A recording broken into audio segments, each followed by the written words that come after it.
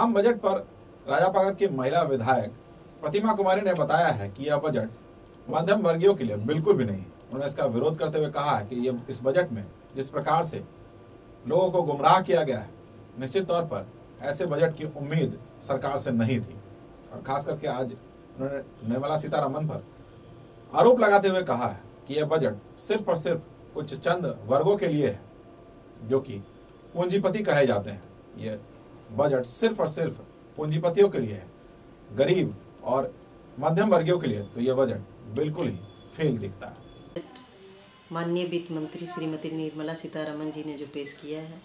वो मध्यम वर्ग के लिए बहुत ही निराशाजनक है। क्योंकि हमें उम्मीद थी कि कोरोना के वजह से जिस तरह से मध्यम वर्गीय लोगों का रोज़गार गया है, वैसी परिस्थिति में मध्यम वर्गीय परिवार को इनकम टैक्स में राहत मिलेगा खाने पीने की वस्तुएँ सस्ता होगी पेट्रोल और डीजल के दाम घटेंगे, लेकिन ये बजट सिर्फ़ और सिर्फ़ पूंजीपतियों के हित में